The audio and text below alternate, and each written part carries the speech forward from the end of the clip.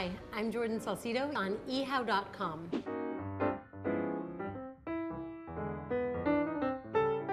Today, we're going to talk about red wines. So I have here a selection of some of the more popular grapes, some of the more well-known grapes, and also a few of the more obscure ones. The first wine is a Gamay from Beaujolais. Beaujolais is the southernmost region of Burgundy in France. Gamay is the grape here, which is, which is a little bit different because Pinot Noir is the grape of all of the rest of Burgundy. Beaujolais gets a bad rap. There's Nouveau Beaujolais, which is great. It comes out right after the harvest. It's meant to drink right away, but it's not really meant for aging.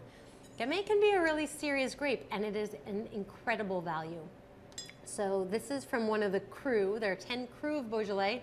Cru in this case just means town. So cru means different things in France, but in Beaujolais, cru refers to one of the top 10 best areas for growing Gamay. This is from the cru of Fleurie, which is known for being really light and elegant and refreshing, very, very floral. So this is a great wine to pair with food and it's especially great for um, if you don't like white wine this is a great wine to start off your meal it's light it's very elegant in body and it's a, a really lovely um, lighter styled wine next we have pinot noir from Burgundy. So this is Camille Giroux. It's a great producer and they make a fair amount of wine that is distributed all over the United States. So you can usually get your hands on a bottle if you're lucky.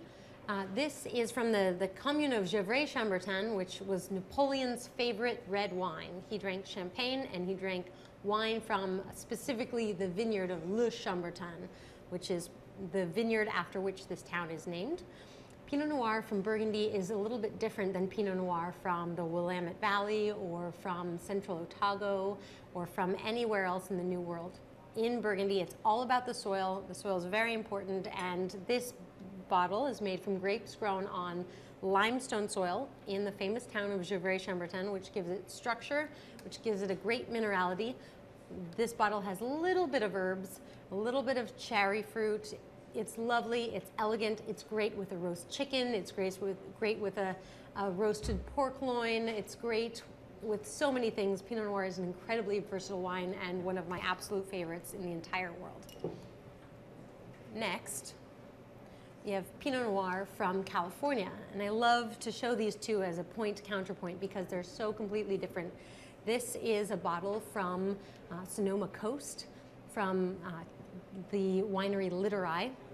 And this winemaker actually used to make wine in Burgundy, but still the fruit is really ripe. It's sort of like ripe, almost almost candied. It's that ripe and that luscious. So this is great if you are if you want fruit that's that's much more about fruit as opposed to minerals. Um, this is a great a great option. Next we have Grenache from Australia. So the motherland of Grenache it's debatable. They think it's from Spain, where it's known as Garnacha. It's also very, very popular in the southern Rhone in France. It's the main grape of Chateauneuf du Pape. And Grenache is a great wine to have in your, in your quiver of wines because it is a very low tannin grape. So it has low tannins and low acid, which makes it really plush and juicy and lovely.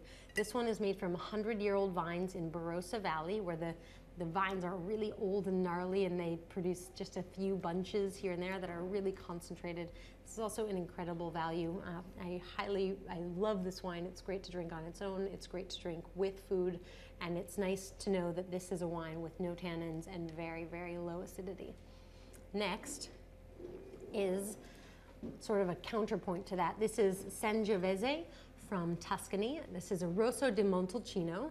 That just means it's like the little sister of Brunello di Montalcino, which is made from the same grape.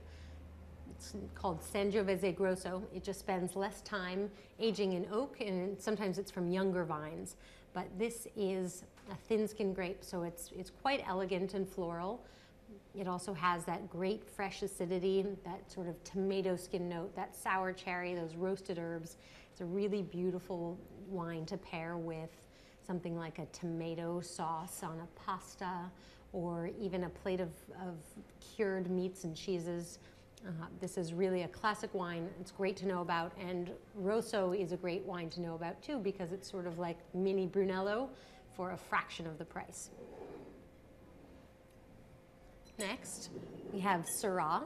So Syrah is known for growing in the northern Rhone in France. So if we're back in France, you have Burgundy here, you have Beaujolais at the southernmost region, and the northern Rhone starts just south of Beaujolais. So Syrah is a grape that it has a thicker skin, it's a denser wine.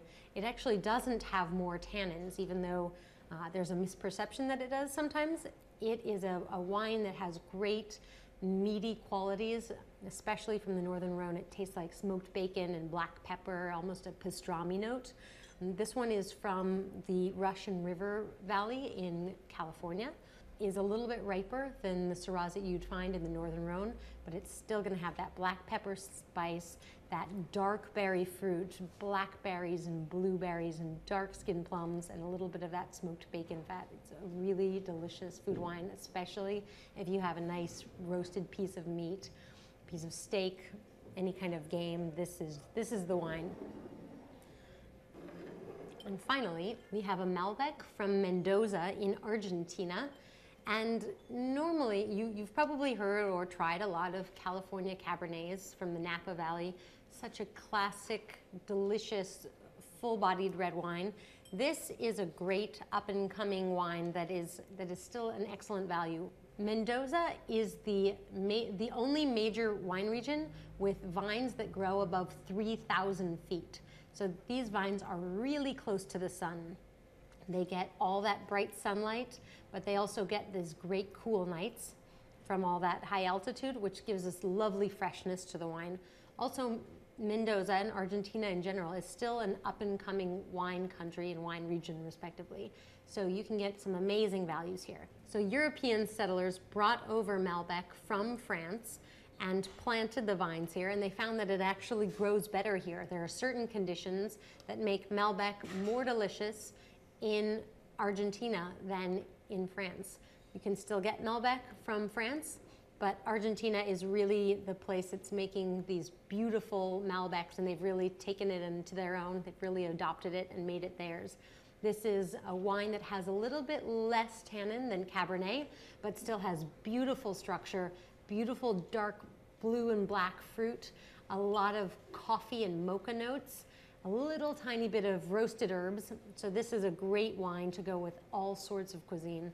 Again, a steak, a burger, anything with red meat. And um, it's really one of the great value wines of the world right now.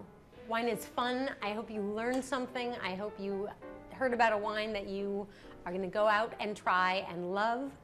Wine is something you can meditate over and get all intellectual about, or you can just enjoy it and drink it and, and call it a day.